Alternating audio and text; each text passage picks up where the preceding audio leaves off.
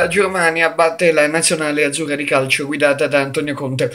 In una gara amichevole disputata all'Alzarena di Monaco di Baviera avrà ingenti misure di sicurezza, i ragazzi di Löw battono per 4 a 1 la nazionale azzurra.